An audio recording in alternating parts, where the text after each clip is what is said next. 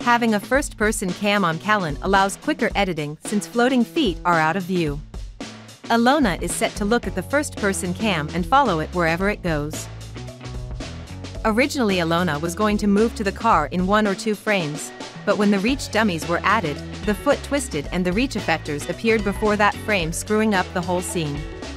The fix was to drop Alona down and have a duplicate Alona appear in the car while Callan's back is turned. Callan getting into the car looks awful from our view, but first person again masks a lot of issues. The end of the animation file blends with a motion director file allowing the first person cam to appear more dynamic and lifelike.